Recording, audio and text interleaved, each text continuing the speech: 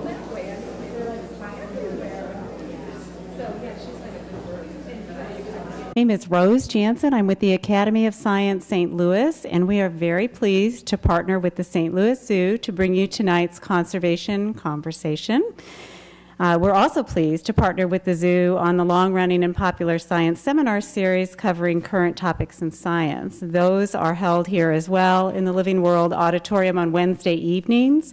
There are brochures outside at the visitors desk, so if you haven't already, feel free to pick one up before you leave tonight. Um, many of you are Academy members and friends. For those of you who are not familiar with us, I'd like to take just a few moments to tell you a bit about who we are, and then I'll let Jim Jordan, Zoo Education Curator, introduced tonight's speaker. The Academy is a local nonprofit. We've been serving the St. Louis community since 1856 with a long-standing mission to advance the public understanding of science and inspire the next generation of scientists and science advocates. And we continue to celebrate more than 150 years of community service by offering a broad range of free and low-cost public science programming collaborative seminar series, and trips and tours that highlight science at venues throughout the region. You can find more information on us and our community-wide events and programs by visiting the website at academyofscience.stl.org or pick up some of the literature just outside the auditorium on your way out. And if you'd like to receive e-notification of upcoming Academy and St. Louis Zoo public lectures and events, there will be e-news sign-up sheets that'll make their way around the audience tonight. Um, if you've already signed one of these at a previous talk, don't, you don't need to, no need to duplicate that. Um, we also have uh, stickers available that we can initial uh, for students, any students who need to verify their attendance, and those will be available outside the auditorium after tonight's lecture. So with that said, I will introduce Jim Jordan, who is going to tell us about tonight's speaker.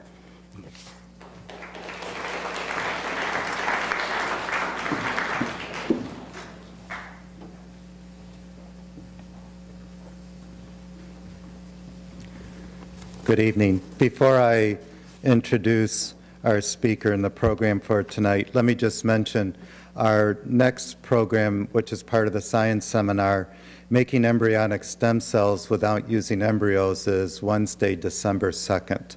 So that's shortly after Thanksgiving. And then in 2010, we'll have two other programs as part of the Conservation Conversation series. The first one, Race for Survival, Cheetahs in Peril by Steve Bircher, Curator of Carnivores, will be January 26th. And then one of our most appealing animals here at the zoo, the American burying beetle, will be featured in February by Bob Merz, our curator, I mean zoological manager of invertebrates. So Many people noticed that we have a guest up on stage that will be making her rounds a little bit later. Um, it was nice to be able to invite Jackie Fallon from the Wild Canid Research and Survival Center here tonight. Now, how is she here with the peregrine falcon, may I ask? Well, uh, Jackie was the leader for a Yellowstone trip that we offered last year. And then talking with Jackie, she mentioned her role with the Peregrine Falcons, and it just seemed to fit our programs. We like to bring in not only zoo conservation, but other conservation in the region. So I'm glad to have Jackie here. And she earned her BA in biology and animal behavior from Cornell College. I asked her, I said, so Cornell University in New York? And she said, no, the original one in Iowa. After college, she learned of the Peregrine Recovery Program at the Raptor Center at University of Minnesota. Bud Tordoff offered an invitation to observe falcons in St. Paul, Minnesota, and watch the process of banding the chicks. She continued to assist Bud every year afterwards, and in 2005 assumed responsibility for Minnesota and North Dakota nesting sites. In 2008, she left Minnesota after 21 years at the Minnesota Zoo, working in all areas, but carnivores was one of her favorites. Um, she came here in to St. Louis area as part of the staff of the Wild Canid uh, Research and Conservation Center. But she still continues her work with the peregrine falcons and does travel back to Minnesota. She currently also is the education advisor to the Mexican Wolf SSP as part of her duties at the uh, Wild Canid Survival Center. So with that, I'd like to introduce Jackie Fallon.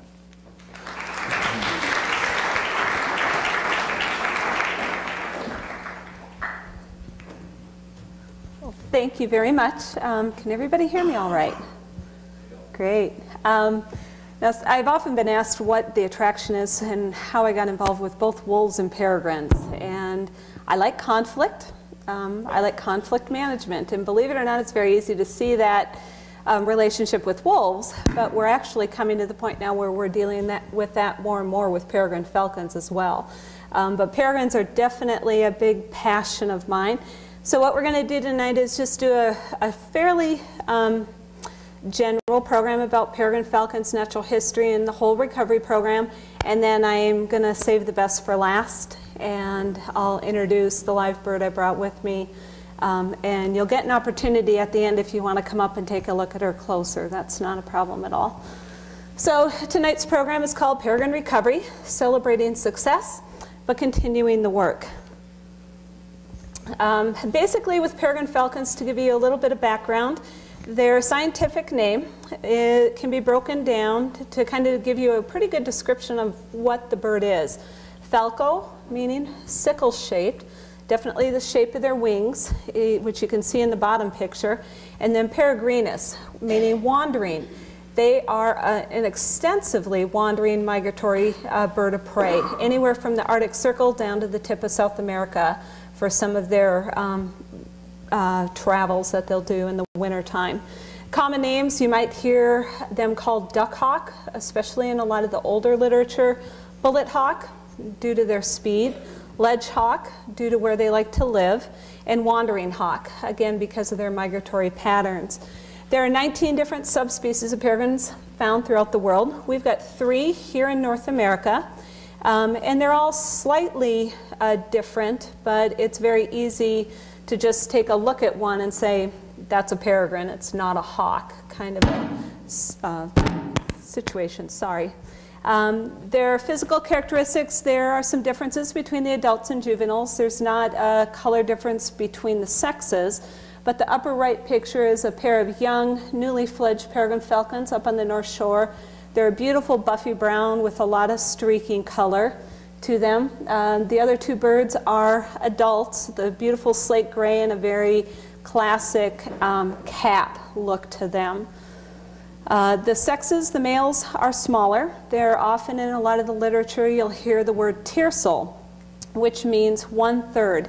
And basically, a male peregrine is about one third smaller than what a female may be. Their shape, they definitely have that long, angular look to them, which helps them with their speed if they're going into a dive or a stoop. And they have some very unique adaptations that really fit into today's uh, changing landscape that we have here uh, throughout the world. Pre DDT, uh, there were some birds that were known to nest in trees, not many, um, but Kansas has a few records and a few records in Europe and um, other countries like that. But there were not many birds nesting on man-made structures. We didn't really have skyscrapers until the mid 50s and 60s. And so we actually created a type of habitat that the birds have taken advantage of and do really well in today's urban society. Primarily, peregrines like water. Um, they like cliffs, and that's primarily where you could find them.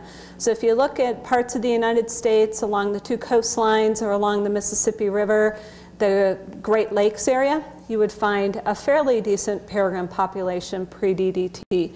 Now post-DDT and with the recovery program, again because we've changed the landscape so much, we've got development going on in some of those cliff and natural areas, um, and we've created these wonderful 50, 60, 70 story skyscrapers that the birds seem to adapt to, especially like here in St. Louis, right along the river, and certainly up in the Twin Cities metro area, and basically from southern Minnesota down through Iowa into Missouri. The birds really enjoy um, areas like that. Chicago, they really like, again, because of the skyscrapers.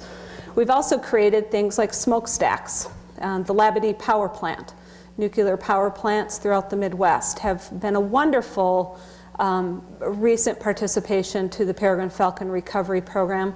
Again, they provide height, they're generally fairly near water, and there's tons of food available for them. Uh, lastly, birds do nest on bridges, but they generally are not very successful when they nest on bridge bridges. If that bird takes its first flight at about 40 days of age and doesn't have someplace close to land and doesn't really know how to control that speed and that power, they usually end up in the water. Sometimes they can row to shore, but more often than not, um, we end up with a, quite a few drownings with newly fledged peregrines off of bridges. But we still do have birds continue to nest successfully or change their nesting uh, site and go someplace better. Behavior, peregrines are known for their speed. Um, they have a straight line speed of 45, 50 miles an hour, um, like many other birds, but it's their stoop. Uh, to go into that bullet, pull the wings back and look like a teardrop when they fall through the sky chasing their quarry. Uh, they've been clocked at over 200 miles an hour with absolutely no problem at all. A lot of times they will rake their prey. Um, all birds of prey have a special back toe called the hallux. It's the most powerful toe for a bird of prey, and they will often hit um, whatever it is they're going to go after with that back toe, swing back around, and grab their prey. Falcons also, when you look at the live bird, or even in some of the photos up there, you'll see they have a notch in their beak. That notch is a great adaptation to be able to break the neck of their prey fairly quickly after they bind to it or after they catch their quarry. Um, rather, if you're a bird flying in the middle of a city with something as large as yourself, you're going to want to gain control of your prey fairly quickly, or you might end up smacking into the side of a building pretty quickly. So by having that unique tooth or that notch, that's going to definitely be an advantage to you. Um, one little bit of interesting fact I found a few years ago is that basically a pair of peregrines that have four chicks in their clutch, for the six birds total during that nesting season, they will eat or kill nearly 500 pounds of food. Now, they're not always going to be able to eat all of that, but especially when those chicks are fairly young, they're eating two, three times their body weight just to maintain growth. Um, by the time the birds are about six weeks of age, they're taking their first flight.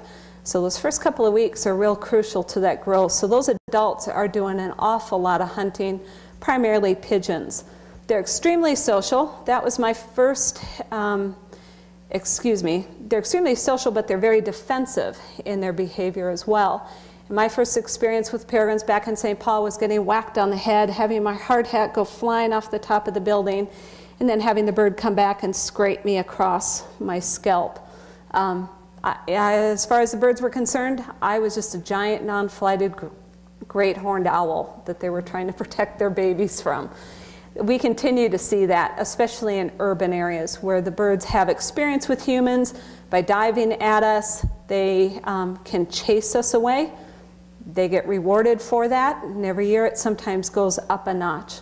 They're also extremely territorial and defensive against each other, and we're at the point in many locations, especially up in Minnesota and Wisconsin, where the population is a little higher than it is here in St. Louis, that the birds will kill each other to gain possession of a territory. Um, generally, the tallest building, the pr premier nesting site, we're seeing one or two mortalities a year um, throughout the Midwest. And again, it's just so many birds in a limited space fighting for whatever resources are available.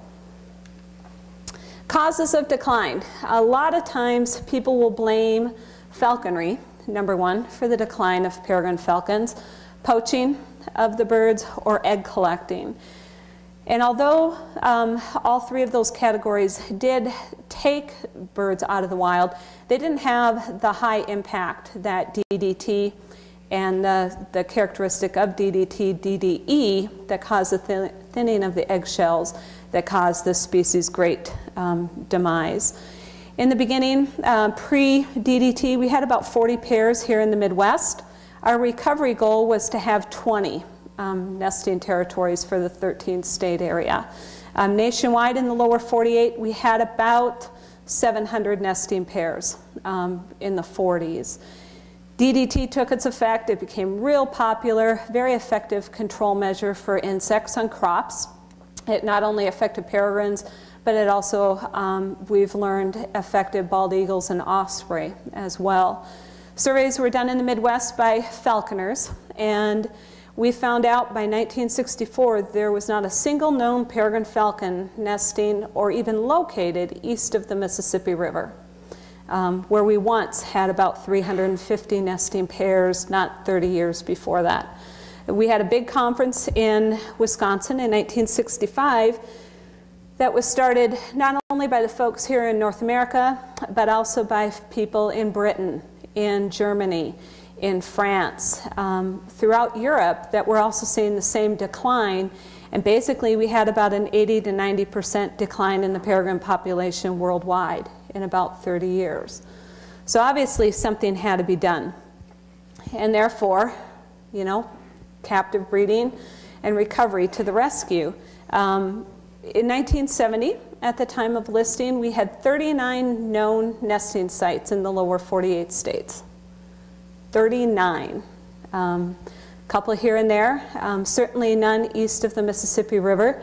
So we started recovery plan because feds and the state, we like bureaucracy. We've got to write everything down. We've got to go through this big long process, decide what our goals are, our objectives, what's a minimum number, what are we going to consider recovery, um, and kind of go from there. So in the late 60s and early 70s, falconers basically came to the rescue. And this is something that's not often um, known for this program, and it's certainly something that's not even common for other species recovery programs. I can't even think of another recovery program really out there that was started by hunters, essentially. Falconers had some of the few peregrine falcons left. They used the birds for hunting. They graciously donated their birds initially to the Peregrine Fund here in the lower 48 that was started at Cornell University, the other Cornell, and it just blossomed. Uh, the Peregrine Fund was formed, and they started initially releasing birds in the mid 70s. Um, now, for us in the lower 48, we have the subspecies Anatum. Remember, I told you we have three subspecies of peregrines found in North America. The Anatum subspecies was known as the continental, or basically the lower 48 subspecies. But again, we had basically eradicated them. And so we did choose to use other subspecies of peregrines for the Eastern Falcon Recovery Program. And basically, Tom Cade, who started the Peregrine Fund, said, you know, you use what you got, and some is better than none. And so that's the decision we made. We did have a few anatum subspecies to use, but we also use some tundras, birds from the Arctic. We use some pealei, birds from the northwest coast. We use some uh, birds from South America and a few from Europe, but not many. We tried to minimize going too far out of the spectrum and minimizing the number of different subspecies and just trying to uh, get a step ahead of the game and get birds out on the ground. And again, like I said, it basically, this program from beginning to end has been due to falconers and, and their concern for the species. So in 1963, we had our last nesting in Minnesota, which was um, the last nesting I've come across. And if anybody out there um, has any other information of that, I'd be more than happy to hear that. But basically, from 65 on, we didn't have peregrines east of the river. So in 1976, for us in the Midwest, we paired up with the Peregrine Fund. Peregrine Fund had been doing releases on the East Coast, um, New York area, Pennsylvania, a few other spots. They joined forces with us. They brought some birds to uh, Wisconsin, Nelson, Wisconsin. We, we released four chicks in 76. Two of those chicks were killed right off the bat by great horned owls. Um, so we recaptured those two remaining birds sent them back to the Peregrine Fund. The Peregrine Fund came back in 77. We tried it again. And again, we had some significant losses due to great horned owls. Great horned owls and peregrines are like oil and water. They really do not get along very well in an ecosystem. Peregrines will kill great horns on occasion, but more often than not, great horned owls kill peregrine falcons. And so the Peregrine Fund at the time was thinking, well, why am I spending $1,500 to basically feed a great horned owl? So until you guys in the Midwest can deal with your great horned owl problem, we're not going to supply you with any more birds. And so the Midwest Project basically shut down for about five years until uh, Dr. Pat Redig and Bud Tordoff at the U up in Minnesota found alternative breeders. Um, we worked very closely with Walt Crawford from World Bird. We worked with a breeder out of Canada. Um, we worked with some other local breeders up in Minnesota and South Dakota to try and gather enough additional peregrines to release for us specifically in the Midwest. We gave it another shot in 82. We released birds on the other side of the river uh, at a place called Weaver Dunes. Real tall towers near the water. And we did do some great horned owl control. Now, I know that can be hard for people to hear, but it wasn't like we were killing hundreds or thousands of great horned owls. In order to get a species recovered, sometimes you have to manage another species that might have such a dramatic impact on the species you're trying to recover. So we did deter a lot of great horns. We used sirens. We um, did haze them.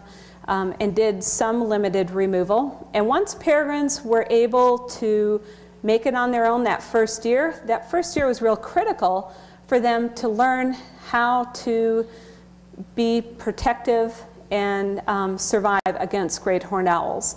And that's something that only they can learn on their own. It's not something we could teach them from being captive releases.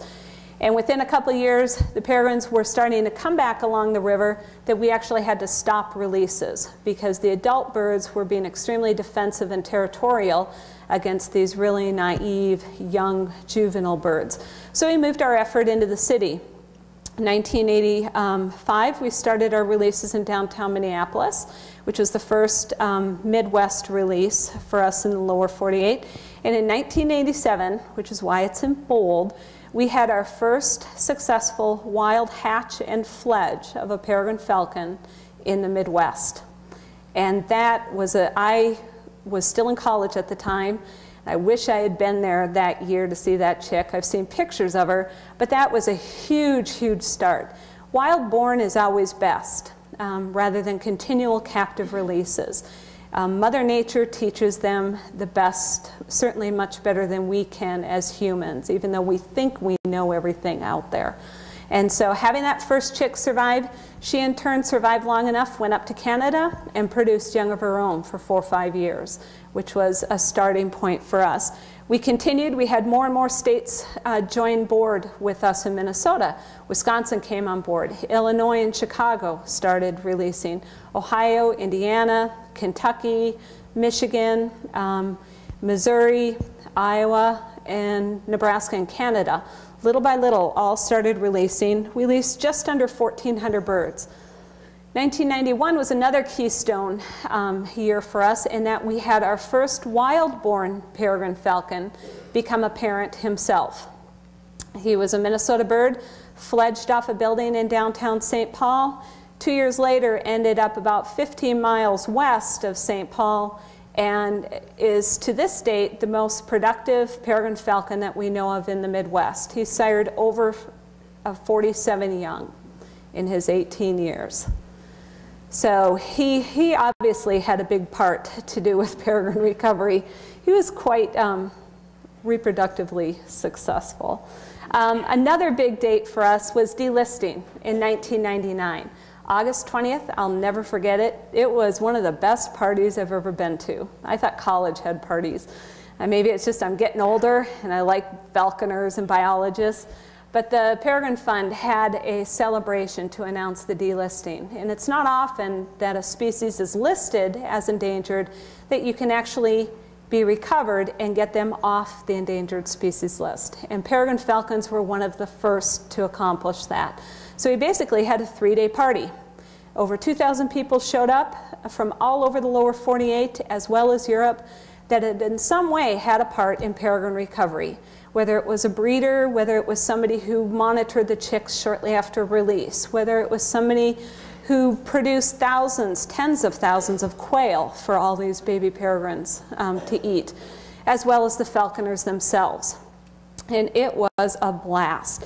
And just a little number, because everybody likes numbers and factoids and things like that. I thought it was quite ironic that for $3.2 million for us in the Midwest, we recovered a species from zero to seven, several hundred nesting pair. One fighter plane, the cheapest of fighter planes out there, cost 28 million. So to me, it kind of puts it all in perspective that with a little tenacity, a lot of passion, a little bit of luck, you can become successful with species recovery if you've just got everything all in a row. Today, we've got anywhere from two to 3,000 peregrines throughout North America. There is also, because the numbers are high enough by biology terms, we're seriously allowing take of peregrine falcons for the sport of falconry again. Just like what had been a big part of the sport's history um, for hundreds of years throughout the world, there are some states that uh, falconers are able to take a peregrine out of the wild like they do with red-tailed hawks or Cooper's hawks or other species of birds of prey that they use for the sport. Um, we've just finished our third of five monitoring periods for the peregrine falcon. Any species that comes off the endangered species list is monitored for at least five years, if not longer. With peregrines, because of the population dynamics, the biology of the species, the feds wanted to be extra cautious. So we went to one monitoring period every three years for five different monitoring periods.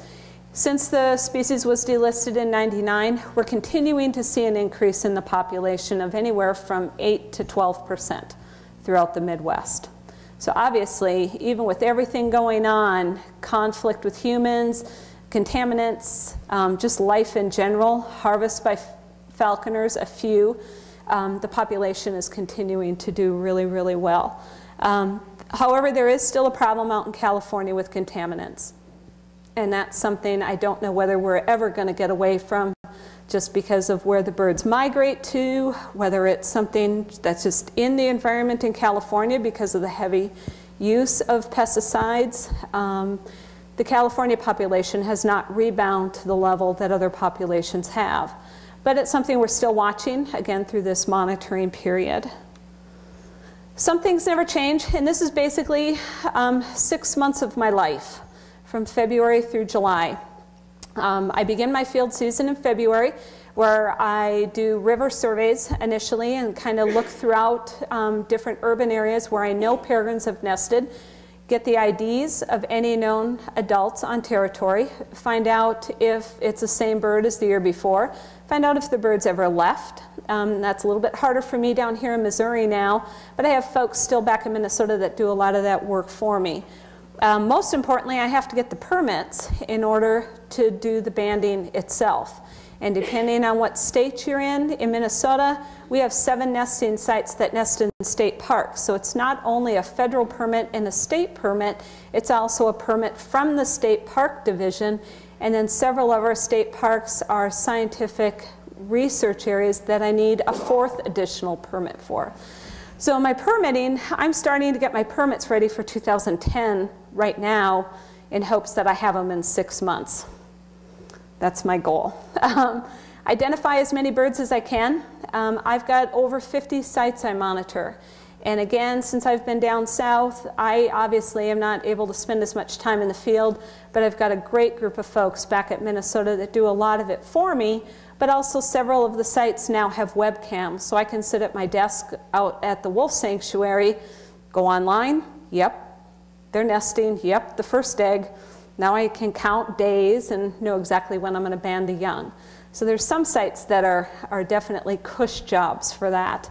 Determine the nesting success. If, if they are a parent territory, are they on eggs? If they're on eggs, did the eggs hatch? If the eggs hatched, when am I going to gather my banding team together, try and get access to those chicks? Um, we have a very small window that we like to band the chicks. And I'll show you a video clip in a little bit of us banding some birds at a historic site along the Mississippi River. But we like to band them anywhere from 16 to 25 days. If they're much younger than that, they can be difficult to accurately sex because the bands come in two different sizes. We don't want to put too small of a band on the wrong sex bird. If they get much older than 25 days, especially at some of the cliff sites, we can cause them to become what we call jumpers. We're coming over the top. They see us. They're like, oh my God, what is that creature from above? It's going to eat me alive. I'm bailing out of town. And they can jump out of that cliff. Um, and they'll do that closer to 30 days. But again, if it's a 700 foot drop, I'm not willing to take much of a chance. And so we tend to err on the side of caution. Tons of paperwork, tons and tons of paperwork more paperwork than I ever thought was possible for, for a couple of months of my life. And then also a big key to any species recovery is raising awareness within the community. Doing active education, which is why I have the live peregrine. Get them excited about peregrines. Um, give them fact instead of a lot of misinformation. And just give them, if nothing else, just a little bit of a respect for the natural environment. You don't have to love peregrines like I do. I just don't want you out there shooting them, kind of a deal, if they eat your pigeons. On banding day, we do a couple of things. Um, we take a blood sample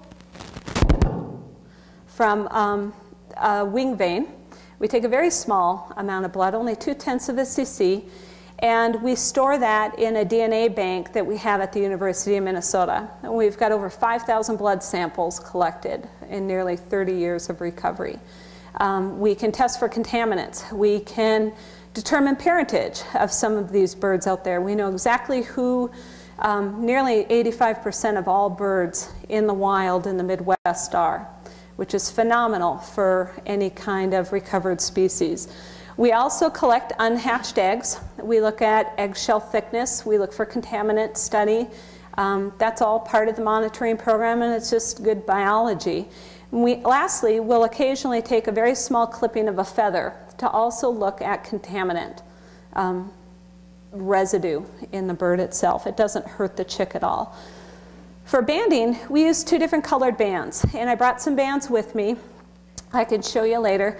We always use a Fish and Wildlife Service band. That band goes on the right leg, and depending on what the color of the band is, will tell you whether the bird was born in the wild or hatched in the wild, or whether it was captive bred and released. And then secondly, we put a two-color um, alphanumeric band on. Um, letters and numbers, they can be tipped on their side in a variety of different color sequences. That band always goes on the left leg. Um, as a field observer, you are never going to be able to read the nine numbers off the Fish and Wildlife band through a spotting scope, but I can read a project band or the double colored band from up to 700 feet away through a spotting scope. And that band is unique, and then I'll know exactly where that bird came from, how long he's been on territory, find out, again, a lot of really valuable natural history and recovery information for the birds. Um, and again, for this project or for any species really out there, we're extremely lucky in that we have about 85% of all our known peregrines in the Midwest are marked. Now I'm going to hopefully, whoops, ah, sorry. I hit the wrong button. I got nervous.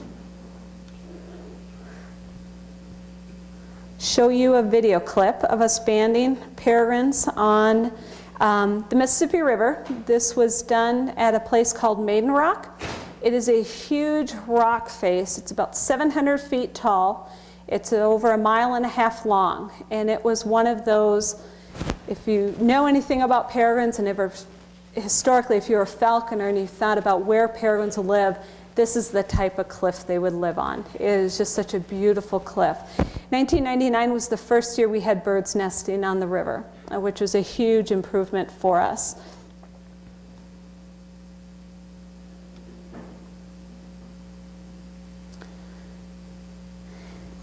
These chicks are um, just under three weeks or closer to about two and a half weeks of age, not very happy about us. And there is audio, but it was taking a little bit of time to key up before too. He's just screaming bloody murder, not real happy about what we're trying to do to him. This is Matt Solensky. He was a field assistant for the Raptor Center helping me do the banding one year. We always usually have two people do the banding and, and blood collection. although it is certainly possible for a single person to put a band on a chick's leg. Again, she's not very happy. By the time they're this age, we can accurately tell whether the bird is male or female. There's the sound.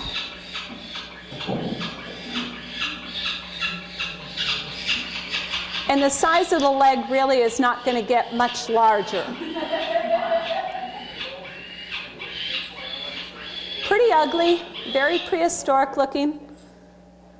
It's amazing they turned from that to that in a couple of weeks.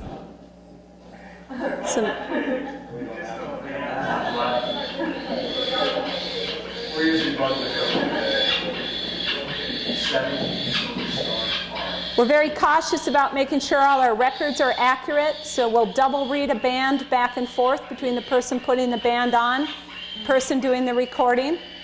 At this stage also, you really don't have to worry about their feet. They just kind of sit there. They generally don't bite. In another week and a half, you're going to get grabbed by the feet, and you certainly are going to get bit.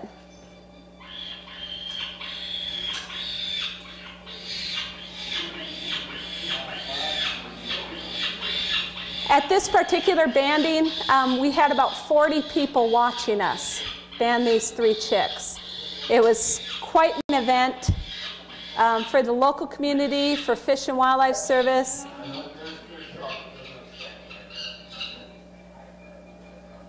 And then I'll be taking a blood sample here.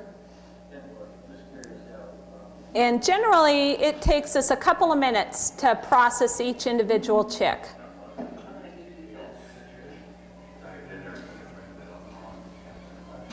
The blue colored feather areas of their wing have a lot of blood in them at this time, so we have to be very cautious with it because we don't want to break or bend one of those blood feathers because it can often take quite a bit of time to get the bleeding to stop.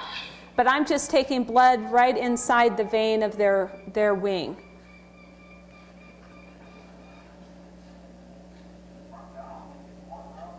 Generally, in about 15 minutes, we can process all four chicks.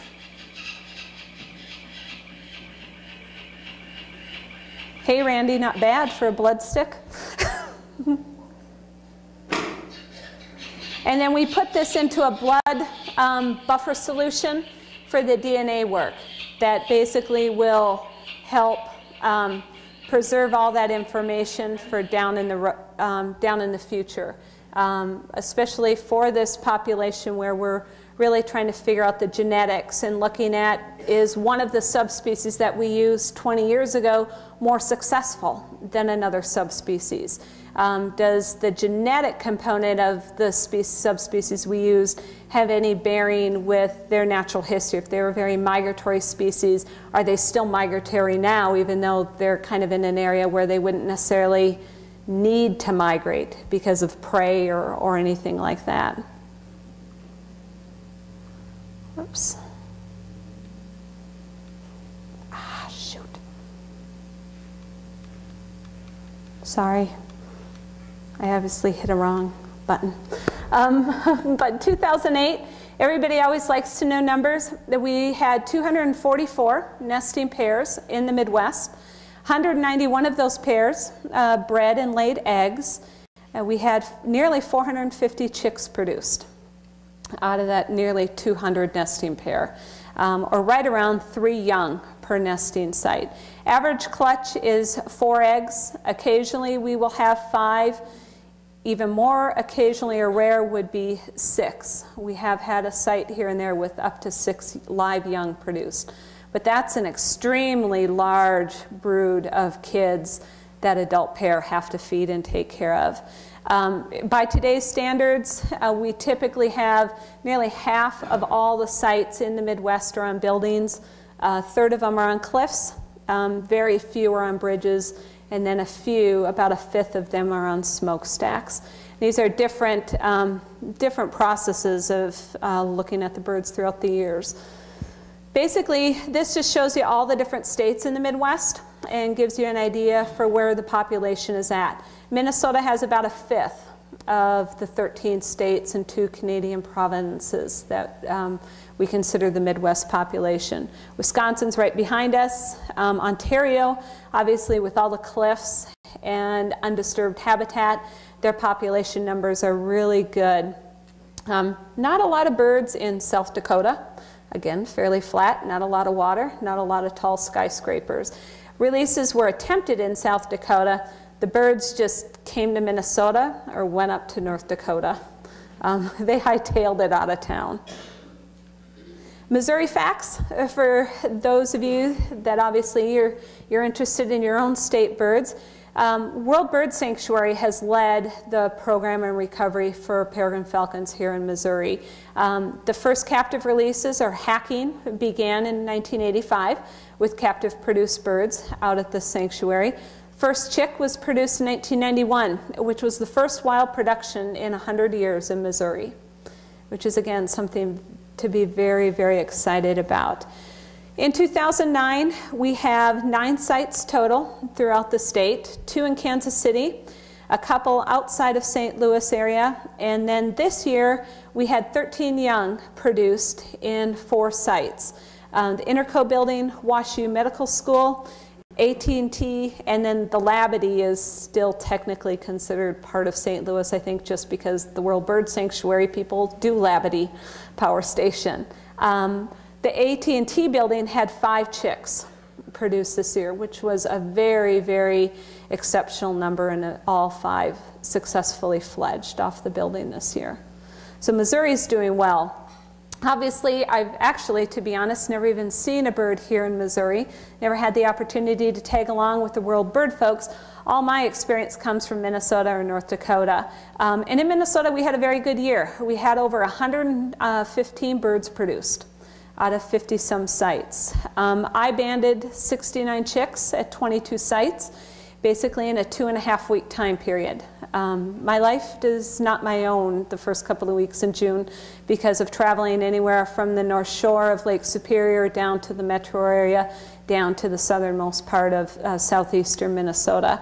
And then we did have about 10 to 12 birds that we were not able to band, primarily because access was restricted. Um, today's society of sue happy people and everybody's worried about liability and we have several sites that won't allow us to be on their property because of potential risk. Somebody falls off a catwalk or someone gets struck by a peregrine and they're worried we're going to sue them or something like that and it's just their company policy. So we just don't have the ability to gain access to a couple of sites. But all in all, again, we're still banding nearly 85 to 90 percent of all the birds in the Midwest. We had seven sites nesting in the state parks, which for me is always really exciting because it's nice to see a species uh, be successful in still natural areas, not necessarily in a nest box or something. They're just kind of making do with what Mother Nature has given them. And all told, we have 18 nesting sites on the U.S. side of Lake Superior. Um, even with all the development going on, and that's something we're really looking at now, is we're finding birds within a quarter mile of one another on Lake Superior. And at Lake Superior this past year, we had over a foot of snow still in April.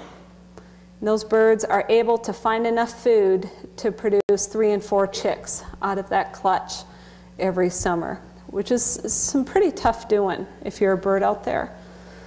Some interesting stories. When Jim had asked me to do this, he kind of wanted me to maybe tie in some of my most memorable times. Um, the first bird up there in the upper left, that's Soda. Um, he was named for Minnesota. Sometimes people aren't all that creative with their names. Um, the thing is, he was a captive bred bird that was um, released down at Rochester um, Minnesota off the Mayo building. He was perfectly normal. He had four digits on each foot. Um, when he ended up showing up as a breeding bird in downtown St. Paul, three years later, he only had two digits on each foot.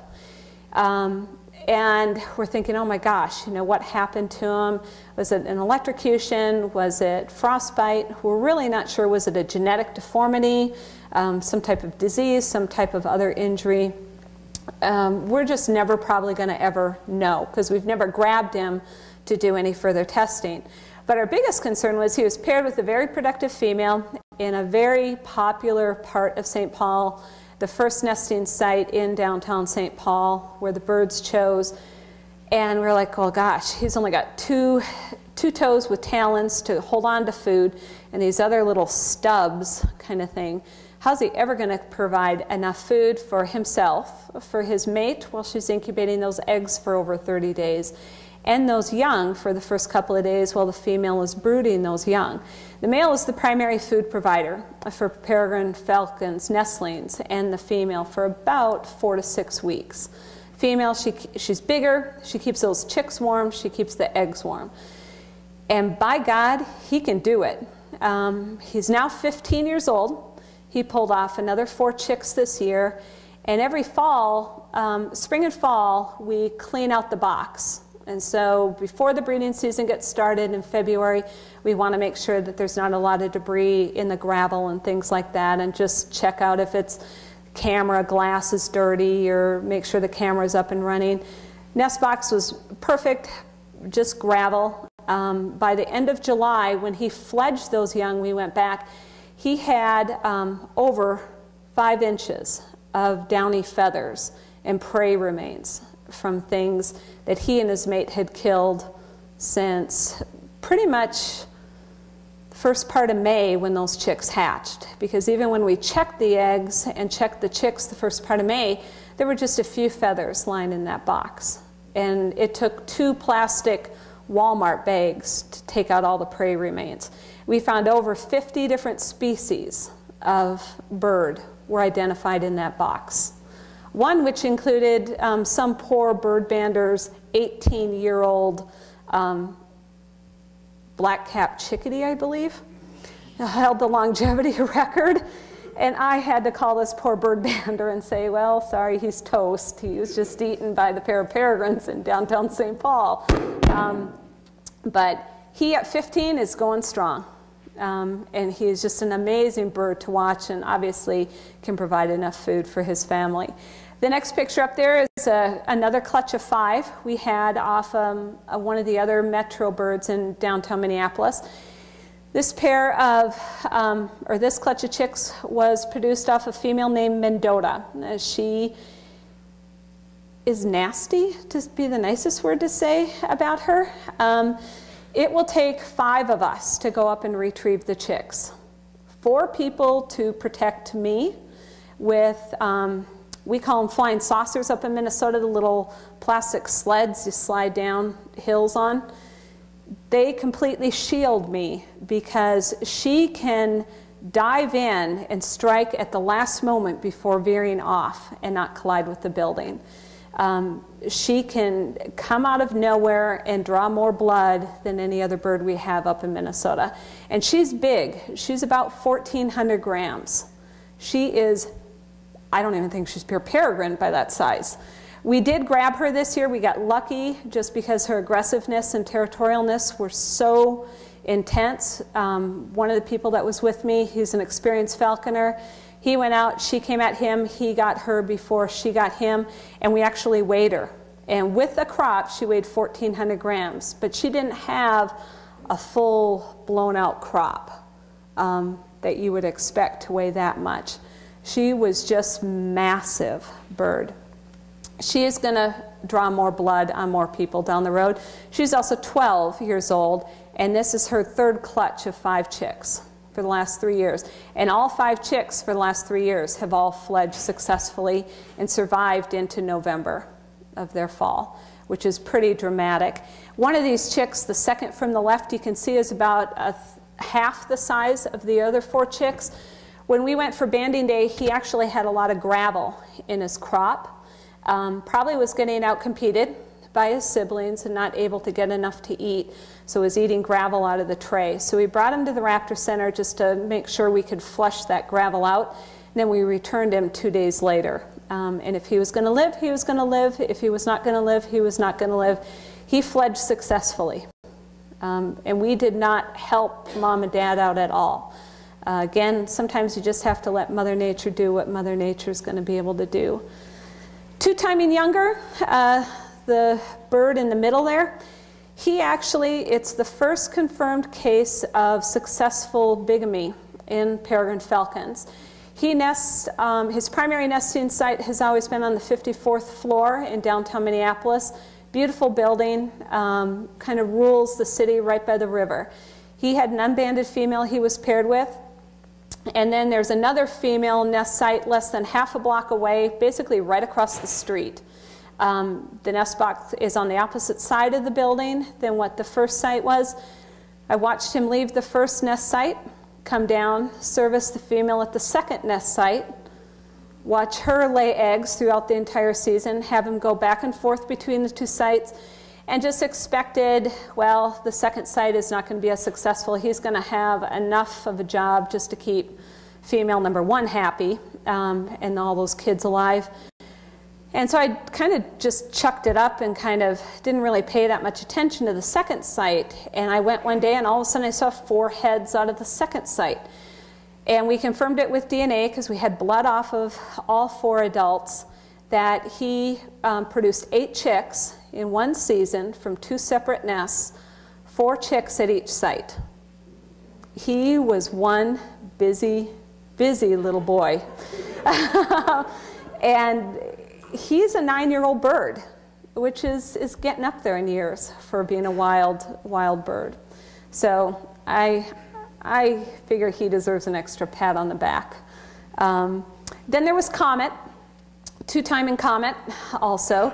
She um, nested on the Wards building in downtown St. Paul, and she had one mate named Beener for several years. But then Beener decided he was going to go to St. Paul for a while and try and take over a St. Paul site. Well, while he was in St. Paul, another male came over from a bridge site, bridge site and started getting friendly with Comet at the uh, Montgomery Wards Tower. Well, Beener got beat up in St. Paul, came back to the Wards Tower, and when we grabbed the blood from those four chicks that Comet produced in June, we found out both males had produced two chicks in that clutch. And again, we could confirm that with DNA. And that was actually a, a PhD study done by uh, geneticists at the University of Minnesota. And again, without all the observers out there, we never would have known. We just would have assumed that whatever male was there at banding time and had been there earlier in the spring, and except for this one week time period, um, Maverick just kind of slipped in and slipped right back out. And he still has some, some kids out of that site.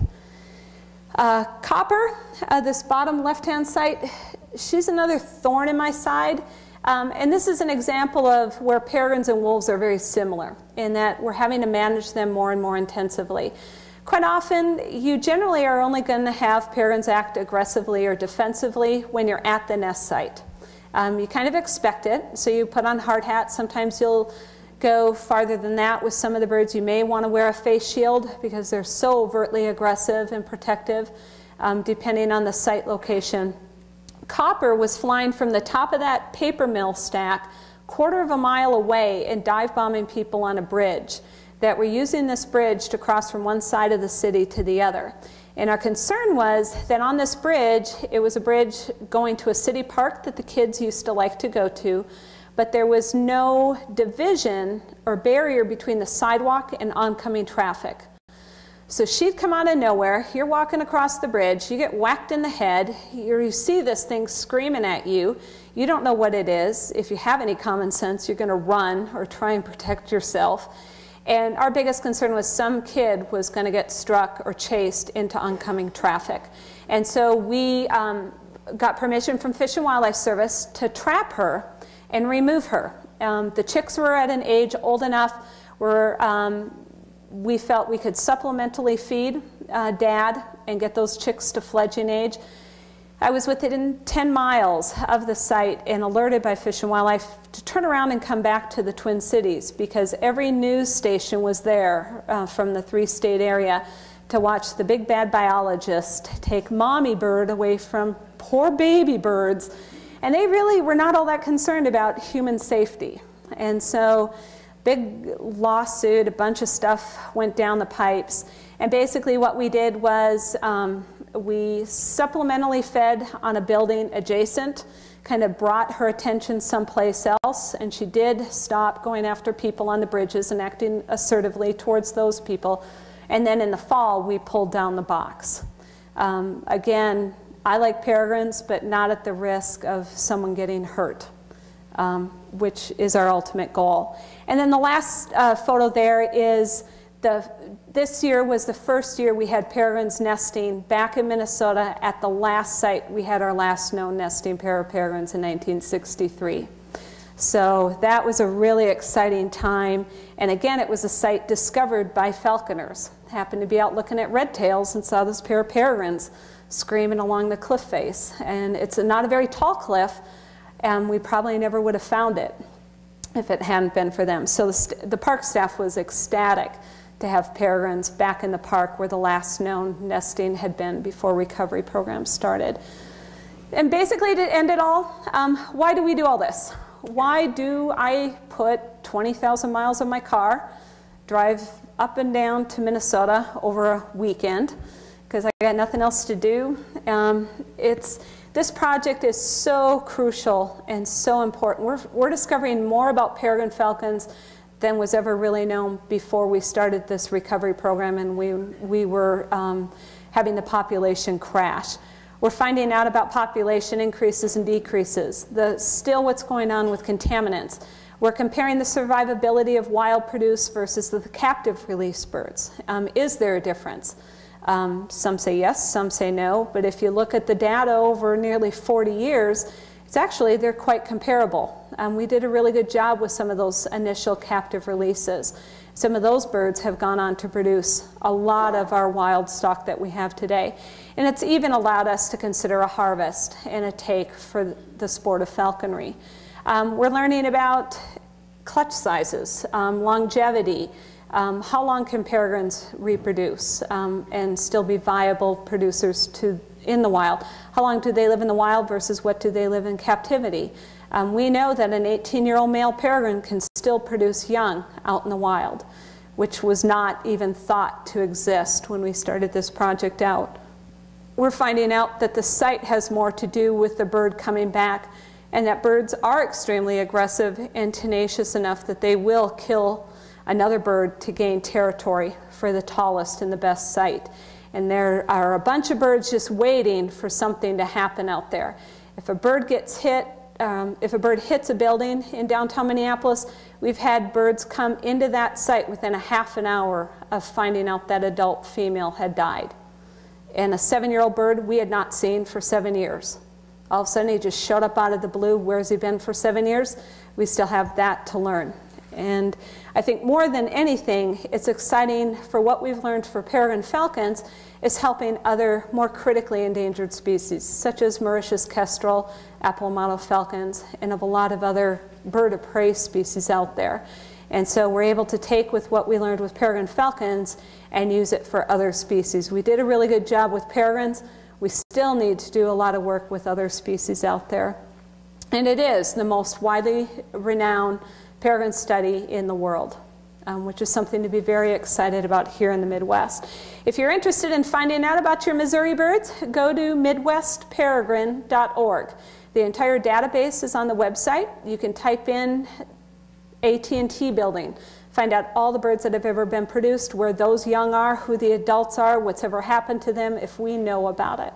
You can find out about it at the website. I certainly can't do the job alone. No state coordinator can. I have a lot of people, probably 30 different people, that help with the bandings, the observations, the climbing. I am terrified of heights.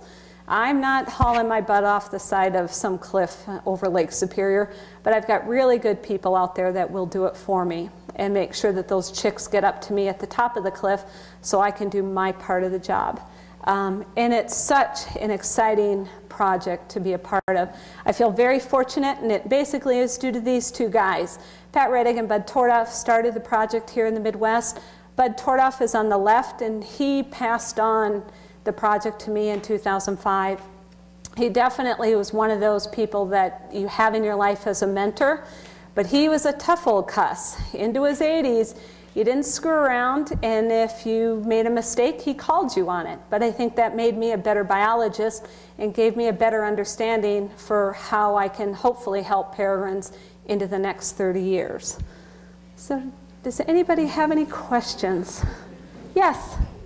In my falconry days in the seventies and early eighties, it was common practice for uh, captive breeding programs to uh, produce hybrids, falconry pur- purposes, gyr falcon, peregrines, and peregrine prairie. Prairies?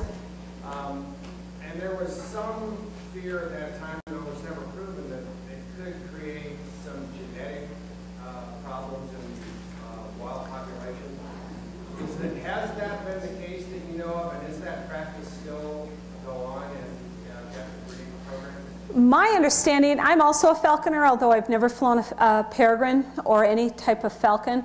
My understanding for a lot of the imprints, it is most often that you want them to, any hybrid, to be an imprint, so that the goal would be that they are not going to, if they do take off on you, because that happens in the sport, that they are not going to become a genetic risk for the wild population. We have had some hybrids out there on territory. It's been more out in the western part of the U.S. Colorado has had a few cases. And what we've done is we have trapped those hybrids out of that territory. Um, we did have a falconry bird actually in downtown Minneapolis. She was lost in 1994 in Kansas. She ended up in downtown Minneapolis in 96 as a second year bird. Um, and she maintained that Minneapolis territory. She still had her breeder band and her bracelets on. The falconer did not want her back, um, which I was very happy about because I wanted her on territory uh, because we were at such early stages of the program. But to my knowledge, there has not been any pollution of the peregrine population. Um, and if anything, I would think it would be so minuscule, maybe one site out of 100, out of 200. And chances are, you know, there's going to be some other complications with that type of pairing. Is that practice still, um, I've kind of lost touch with the falconry community, but is that something that's still, um, the captive breeding programs still produce hybrids? I know a lot of people that fly gyr peregrines, especially for some reason. It's the size of the, the and you know the temperament of gyrs. They're pretty sweet birds, um, but they like the speed of the peregrine. Um, and I've, we have no case of that in the Midwest of a hybrid on territory or impacting our Midwestern population. And I guess you could tell through the blood samples and the genetic technology. And just with the look of the bird. I mean, you know, over time I've gotten, you know, 20 years ago I probably couldn't tell you the difference between a pure peregrine and a peregrine prairie falcon, but I could now with, with a fair amount of certainty. Yes? You were calling those three falcon subspecies, that means there must be some inbreeding, right? There is obviously some inbreeding, but again, if you look at some other species, for example, the Mexican wolf program, we started with seven animals, and we now have an entire recovery program based off of just seven different individuals. Peregrines, we started out with a lot more than that. Um, and with those different subspecies, we did have a fair amount of anatum, or the continental subspecies, but we also used a lot of tundra birds. And we were really worried that because tundra subspecies tend to be more migratory, that a lot of these birds, even though they would be released in a habitat that should not cause them to migrate as far, what was really going to happen. And what we found is the genetics does not appear to have as much impact on their migratory behavior is what we were originally concerned about. A lot of the urban birds stay sedentary. Some do migrate, not all of them. We've had birds that do migrate and then all of a sudden click a switch, all of a sudden become sedentary and stay around year round in an urban area. Mm-hmm. We did, but again, that's all we had. We are looking at less than 40 nesting pairs in the lower 48 and certainly none east of the Mississippi. And so with Tom Cade and them, it's like you kind of take what you have if you want peregrines at all. Yes?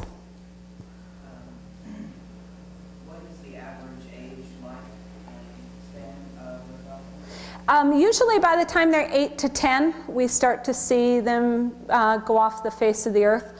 Um, but again, we have a lot of birds now that are in their mid-teens. We have a few birds, probably six, eight birds that are 16 to 18 in the Midwest, which is old for a wild bird.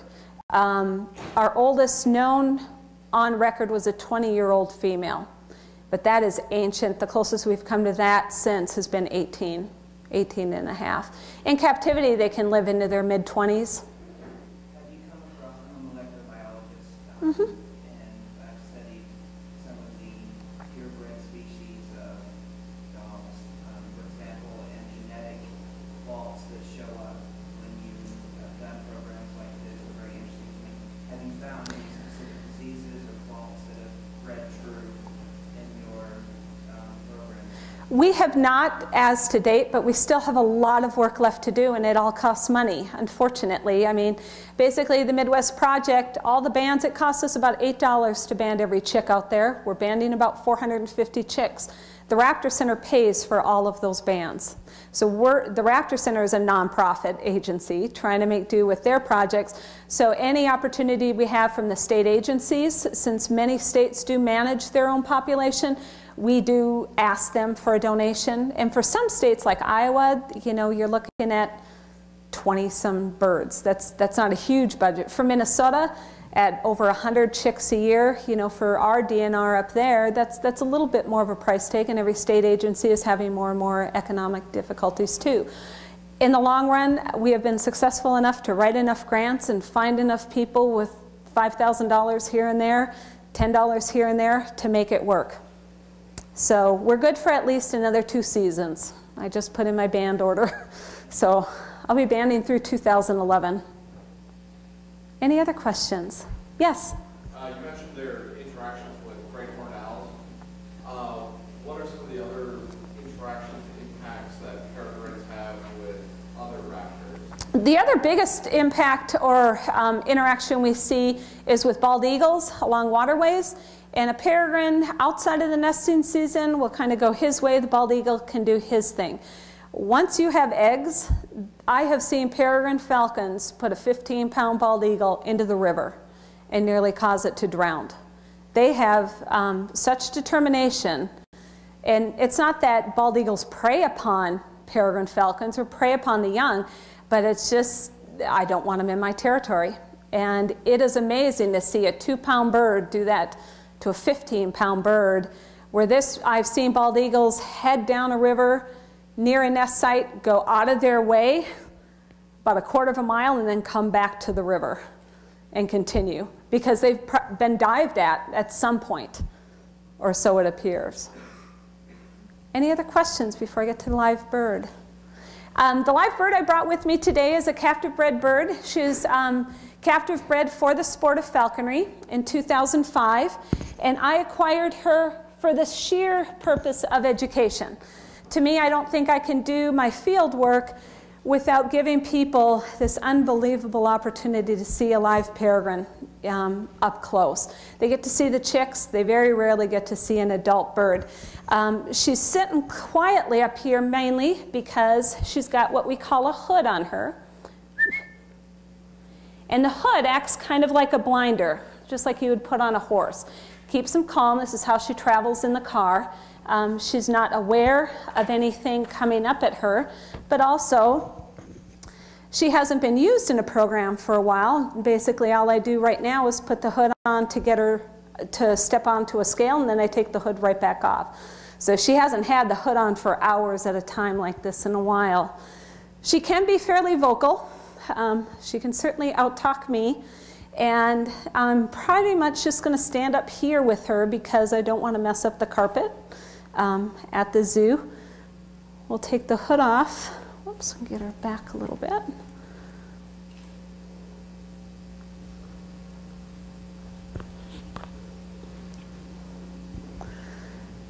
Her name is Alita. She has a name not because she knows her name, um, but it's something humans like to do. She has what we often call hat head, her hood hair. Um, she will hopefully soon do what we also call is called a rouse. Um, she will shake all her feathers. It's kind of a comfort thing. It's also dinner time for her. And so she's kind of looking to see, okay, have I been good? Have I been good? Do I have a piece of quail? Have I been good? Have I been good? Is there a piece of quail down at my feet? Kind of thing. So I may feed her depending on how she does. Again, she's just been kind of sitting in her um, enclosure, which falconers call mews, for the last couple of months. It's kind of been her off season. She hasn't seen people for a while. She is completely wild. She is not tame. She is not domesticated. Um, that's why I have a dog at home. Um, she is 100% wild, and I don't expect anything more out of her than that. She is what she is. She's, she's in her own form. Um, but when you look at her, she's got great long talons for grabbing onto uh, prey that have feathers. She's built for speed, those long, narrow wings. She also, at nighttime, she gets a little bit more antsy. Um, it's kind of bedtime for her, so she may be a little bit more nervous. She also doesn't know what this room is all about, so she's, she's probably going to do a little bit of looking around. And go potty is usually also what she does as soon as the hood comes off. So again, that's why I'm up here by the tarp. Her rotation is probably three quarters of the way, but again, with her having binary vision, she can still, you know, she doesn't have to have the same um, visual stuff is what like an owl would have with front facing eyes. Um, she has unbelievable eyesight. She's got special nares, those kind of look like white circles with a spot in the center that really helps with her aerodynamics and being able to deal with different pressure when she's diving at such speeds, um, when she's chasing her prey. Falconers today primarily use peregrines because they like to hunt quarry. It's part of the tradition. Um, falconers are called falconers, but they don't all hunt with falcons. A lot of us hunt with what we call short wingers, which are red tails, Cooper's hawks, Harris hawks, things like that. Um, she is, she may cast up a pellet too, because this is usually when she will cough up a pellet, and she'll do the same thing that you often hear owls do. Um, she was bred in captivity, like I had said before, uh, by somebody for the sport of falconry. She was flown for a single year by a falconer, but then developed frostbite on two of her digits. And he chose not to fly her a second season. And I got a phone call from this friend of mine that had produced her. He knew I was looking for a bird to use for education. And so I was able to get the appropriate federal and state permits to use her for education. So basically, her job is a little bit different than your average falconry bird. I do not hunt with her. I have a different bird I hunt with, but she helps me go to schools, go to universities, talk about peregrines and recovery, and again, just give you that opportunity to see a peregrine up close. Yes?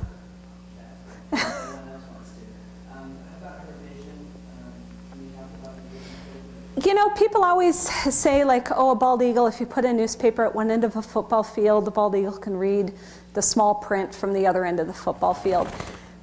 Who really knows? you know, did the, par- the bald eagle tell you that? And I've talked to enough vets that definitely their eyesight is better than ours. But to be able to say three times versus six times versus 10 times, nobody can accurately give you that answer. Um, they definitely key in more on movement than anything.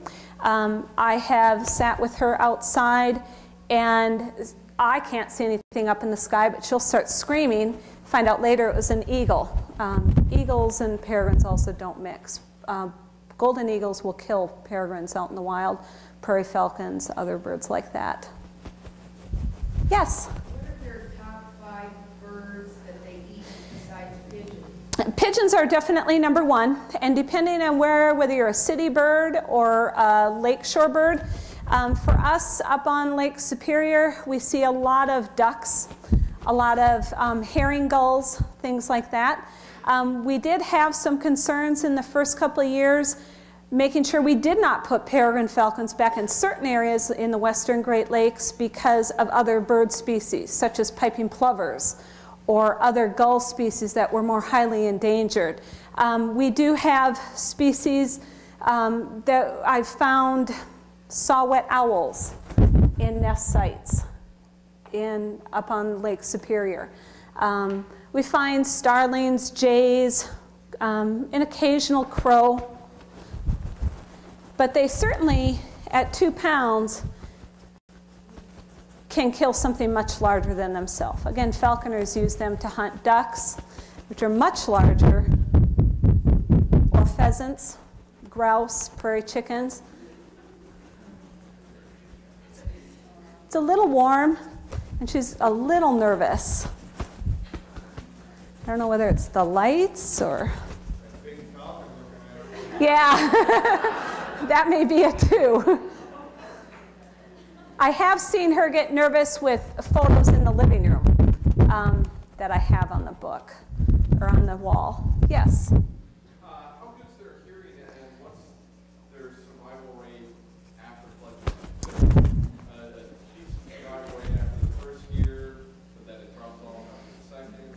Anywhere from 30 to 50% die their first year, um, depending again on the population, whether you're a city versus cliff versus bridge bird, um, kind of depending.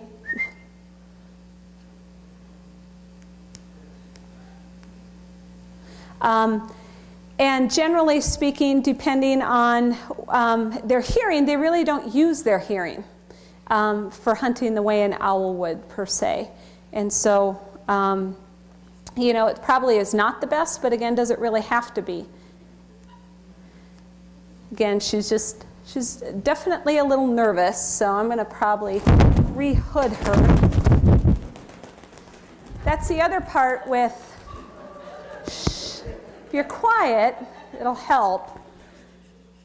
It is warm in here, and again, the lights or the video or something are making her nervous. So for me as a handler, it's also my job to make sure I don't put too much stress on her and make her too nervous.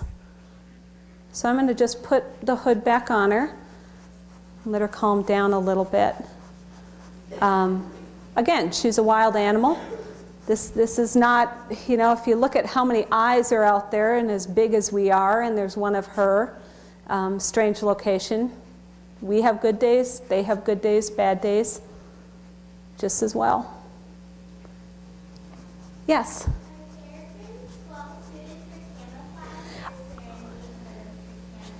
Are peregrine falcons well suited for camouflage?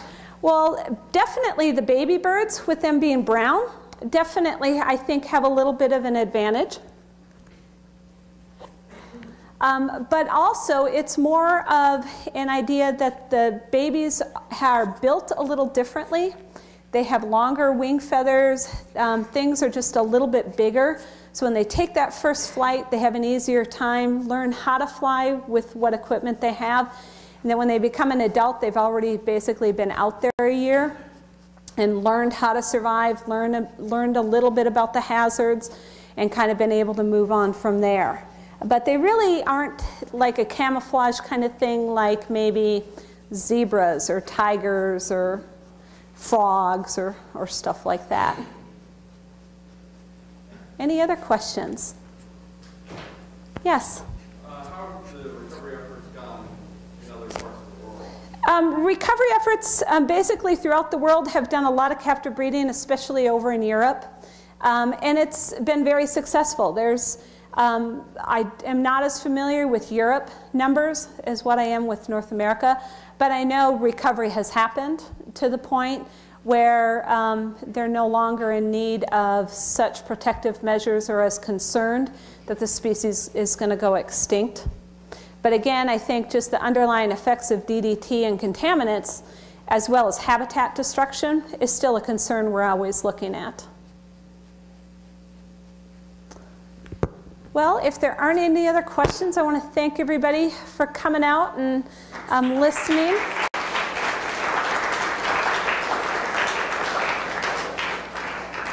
And I'll be up here for a little while, but again, because of the temperature and her nervousness, I am going to keep her hooded. But if you want to come up and take a look at her, that's fine.